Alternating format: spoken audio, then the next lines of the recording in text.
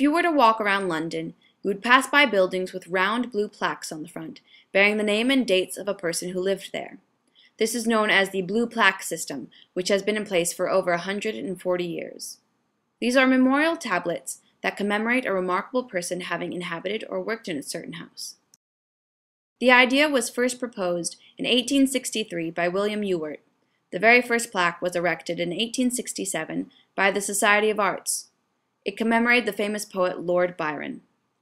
The task of distributing these plaques throughout London has many times switched hands, but today the job falls to the English Heritage, whose job it has been to manage these since 1986. These plaques exhibit a desire to stay in touch with London's interesting past, regardless of the condition of the house or apartment, as long as the edifice is still in place, a plaque may be placed on the facade. The many spots of the numerous plaques are in varying degrees of preservation, depending on the importance of the person who resided there, who later had possession of the space, as well as many other contributing factors.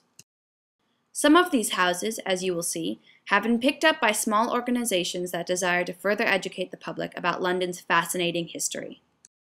Names that you would find on these plaques vary from those of scientists to politicians to writers and other types of artists.